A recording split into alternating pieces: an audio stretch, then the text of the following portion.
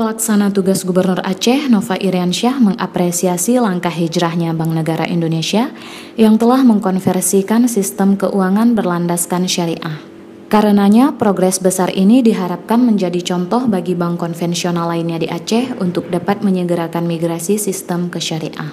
Hal itu disampaikan pelaksana tugas gubernur saat menerima audiensi dan paparan roadmap implementasi penerapan keuangan syariah BNI di Aula Rumah Dinas Wakil Gubernur Aceh, Banda Aceh, Senin 16 Desember 2019. Nova menuturkan, sejak disahkan Kanun Nomor 11 Tahun 2018 tentang Lembaga Keuangan Syariah di Aceh, pemerintah Aceh semakin memantapkan komitmennya dalam penerapan lembaga keuangan syariah.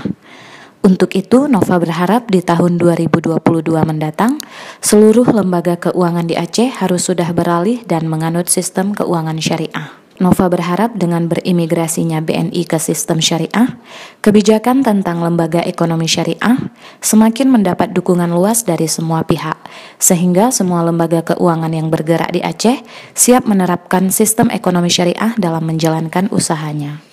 Sementara itu, Direktur Keuangan BNI Aryo Bimo mengatakan sebagai bentuk keseriusan peralihan sistem keuangan syariah, di tahun 2020 nanti BNI konvensional yang ada di Aceh akan mengambil langkah untuk migrasi seluruh dana pihak ketiga dan kredit BNI konvensional menjadi BNI syariah.